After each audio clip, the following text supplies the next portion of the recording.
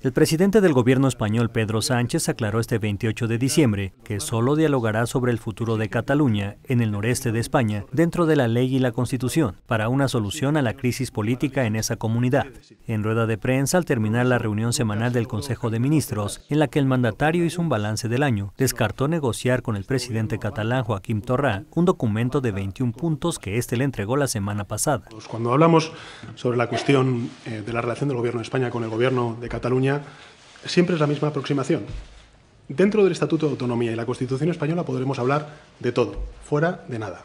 Fuera lo único que hay son monólogos. Por tanto, ayer conocimos a través de los medios de comunicación esta propuesta. Vamos a pedir información, lógicamente, al Gobierno catalán.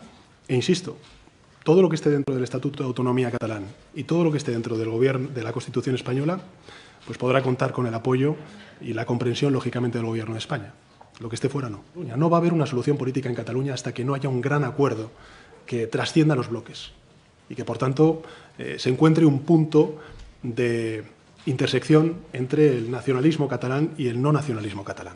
Y en eso va a estar el Gobierno de España, apuntalando la convivencia, reivindicando el diálogo y eh, alejándose de la confrontación y de, digamos, el uso de alguna manera estrecho que se está haciendo por parte de algunas formaciones políticas en relación con la visión de la Constitución, de lo que representa España y de cómo podemos encontrar entre todos una solución política a Cataluña. Notimex.